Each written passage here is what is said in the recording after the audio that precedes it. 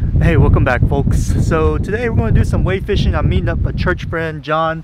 He's already out there. So uh, I'm kind of starting a little bit late because it's been a rough morning. All right, let me share really fast what happened. So I'm driving to this wade spot and I'm about 70% to my destination, right?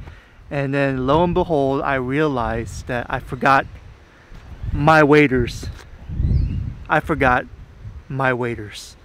So I had to turn back around, head back home, which I live in West Houston. And as you guys know, West Houston and Galveston is, that's a drive, man. And it's, uh, I was not too happy.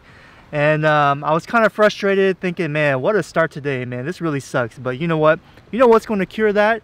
Some fish, man. I'm ready to catch some fish. As long as we catch a fish, it was all worth it to me all right guys check it out. This is what we're to be doing today. This is uh, i imagine majority of you guys that fish on the weekends this is what y'all kind of do.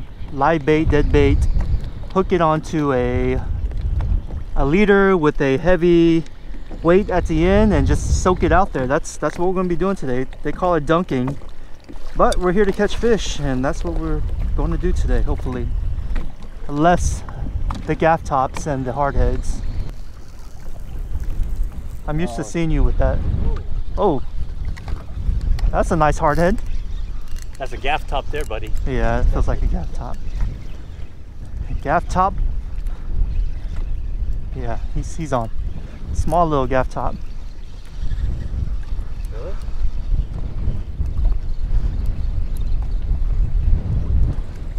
You got it? Another croaker? I hope so. I have a croaker fry. Oh, wow. This is a nice sized croaker.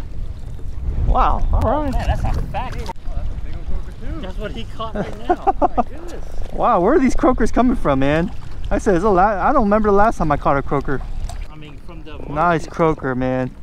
We're gonna keep them because we like to eat croaker. Check out, listen to that, listen to that croak.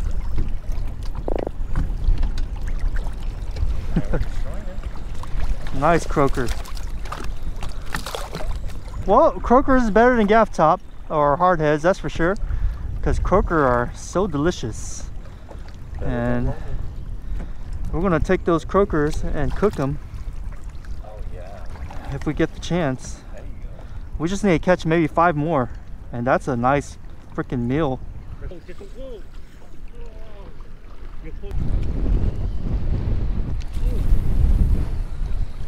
Nice. You got something? Good job, Alex. Uh, he might he might be pushing it. He's no big dude, that's for sure. He's a small pinfish, croaker, pinfish. That's a pretty big size. No, that's a croaker, dude. Is that croaker? That's a different croaker. Whoa! Whoa! Oh, nice. We can use this as a bait. Check this out, a little croaker, small dude. This is my second croaker today. No, Not bad. It. I'm gonna use it. You wanna use it for bait? Right now. All right. Okay, something on. A little bit pull, but I think it might be my weight dragging on the ground. Because I'm using a spider weight.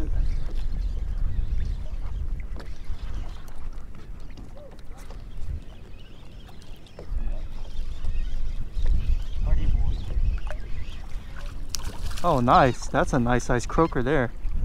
That's a good size croak. Oh. All right, check out this croaker, guys. That's one of the biggest croakers I've ever caught. Well, today.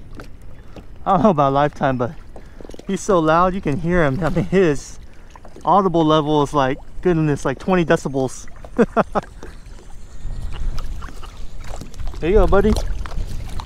All right, guys, that's gonna be it for the fishing, man. It's been really slow just got a couple of croakers and my buddies caught a couple of drum and croakers. Um, there's just too much fresh water right now in the bays just from all the previous uh, the you know the fronts that we had just dumping all that fresh water. It's going to take some time to clear up and then uh, there are a bunch of guys around us too wade fishing and uh, I didn't see anyone catch anything and there was a charter too just to show that you know hey it wasn't just us that we're doing something wrong. It's just there's really no fish uh, because all the fresh water and the salinity level is all off. But anyways, I'm gonna go back home right now, run some errands, and then um, yeah, I got something cool to show you too. Check it out.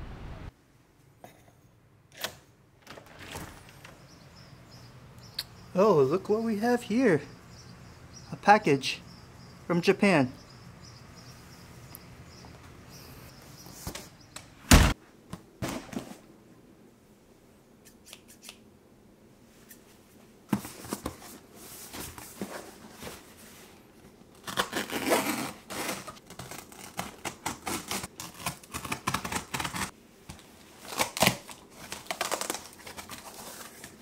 Oh, nice.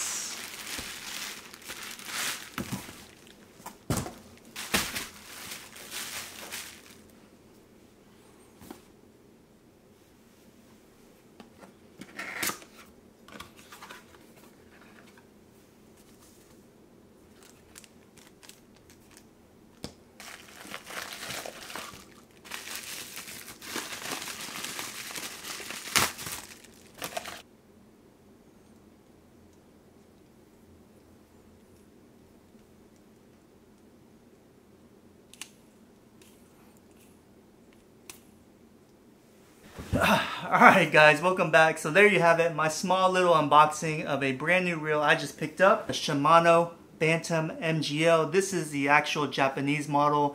Um, you're probably asking, well, why don't you just buy the US model? Well, it's the same, honestly. reason why I went with the Japanese is because it was cheaper. And I bought this reel primarily to use for freshwater. I know it is, I don't think it's it's rated for saltwater, but I've heard you can use this for saltwater, but primarily use is going to be for my freshwater pond hopping excursions. I bought this because it feels so good in my palm. It's a one-piece aluminum frame. Therefore, it is a little bit heavier than your normal Shimano's out there. But I need something that's a tank, that's going to be smooth, that's high quality. Because if you've seen my videos, I'm not too easy on my equipment. And I need something that's really going to last and be very durable. So that's why I chose the Shimano Bantam MGL. This right here is the XG model, which is 8.1 to 1 gear ratio. I like the higher gear, gear ratio reels because um, I have that high gear ratio just in case. But if I need to slow down, well guess what? I'll just slow my retrieve down. So there you have it guys. I will give a, a more detailed review in the months coming. I just want to really put this to use. You're going to see me use this mostly on my pond hopping excursions. Like I said, I might use it in the saltwater here and there, but primarily use is going to be freshwater.